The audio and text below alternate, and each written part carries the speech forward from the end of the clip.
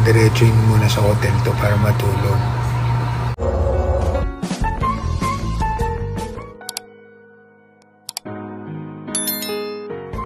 Malaking pasasalamat ni Claudine Barreto kay Boy2, Kizon, at marami sa mga netizens ang nagulat na ganito pala kasweet ang samahan ng dalawa.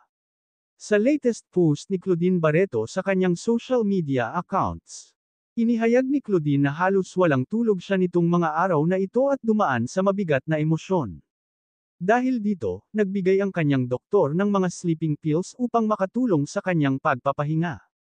Gayunpaman, isang hindi inaasahang pagdalaw mula kay Boy 2 Kizon ang nagbigay kagaanan sa kanyang nararamdaman. Kwento pa ni Claudine, dumalaw si Boy 2 Kizon, upang magbigay lamang ng simpleng halik, kahit pa pinakiusapan na ng kanyang ate Sol na iwasan muna ang mga bisita upang makapagpahinga siya. Malaking pasasalamat ni Claudine sa suporta at pagmamalasakit ni Boy 2 Kizon, na tinuring niyang kapamilya hindi man sa dugo kundi sa kanilang malapit na samahan. Panoorin natin ang video. Okay. Sleep, ate. Kumot yan.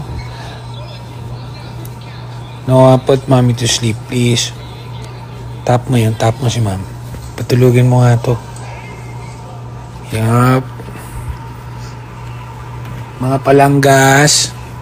Itong mami nito ni Noah yung matulog. Dito ako para patulugin si ate. Yawn. Ito kasama siya nagmamasahe. oh. Dito siya. I love you.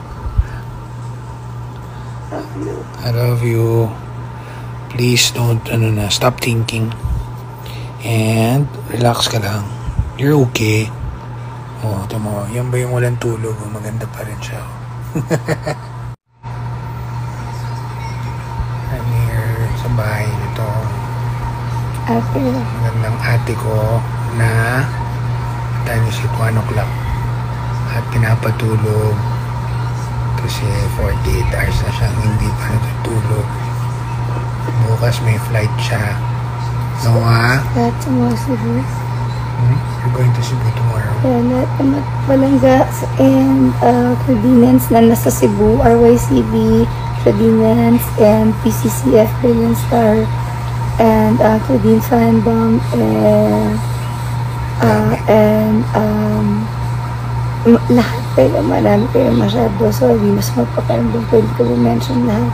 But I really appreciate all of you. Mahal na mahal ko kayo. And um, this is my baby boy. Please continue to support him kasi siya nag-aalaga kay ate always. Mm. So, pagdating ni ate sa Cebu, pwedeng padiretsuin muna sa hotel to para matulog. Eh, totoo, relax naman siya dito ngayon may nagmamassage. So, hi, ate!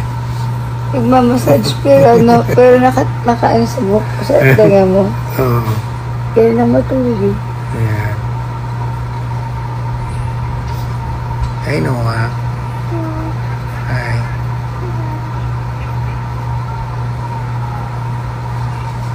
Close your eyes.